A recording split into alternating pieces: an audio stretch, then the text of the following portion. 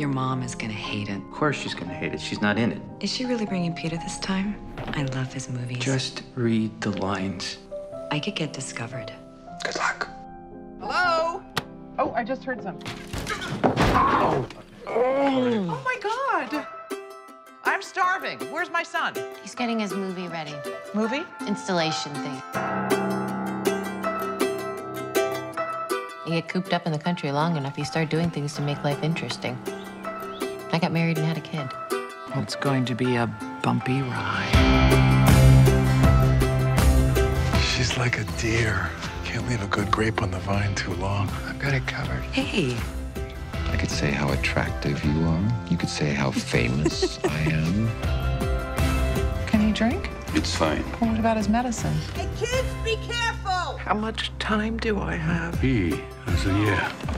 he's the only one around here who ever enjoys himself.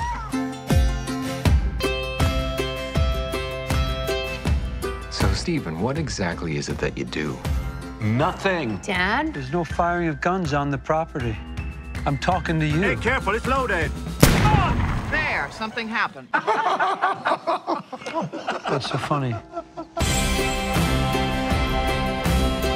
If you find your way out, take me with you. She'll come back, tail between legs, you'll see. You're playing with fire. I know what I'm doing.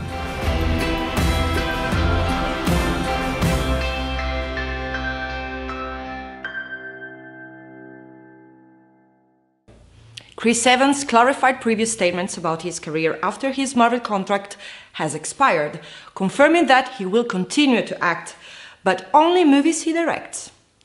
He still has one more Marvel movie to go after Avengers Age of Ultron and Captain America 3, but that movie has not yet been revealed.